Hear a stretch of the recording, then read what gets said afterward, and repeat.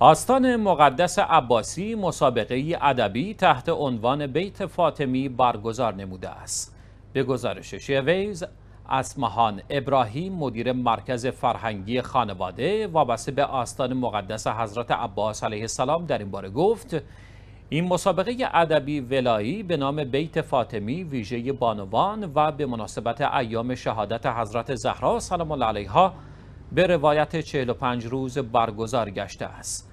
ابراهیم افزود این مسابقه مجازی بخشی از سلسله مسابقه هایی است که این مرکز به دلیل مناسبت های دینی از جمله میلاد و شهادت ائمه علیهم السلام برگزار می کند و امیدواریم این مسابقه پنجره ادبی را به روی شرکت کنندگان باز کند.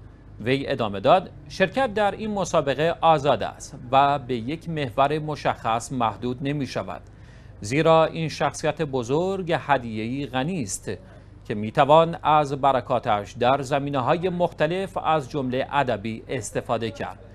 به گفته مدیر این مرکز نویسندگان باید برای شرکت در این مسابقه تنها یک کار ادبی ارائه دهند. علاقمندان می توانند جهت کسب اطلاع بیشتر به پایگاه اطلاع رسانی آستان مقدس عباسی مراجعه نمایند.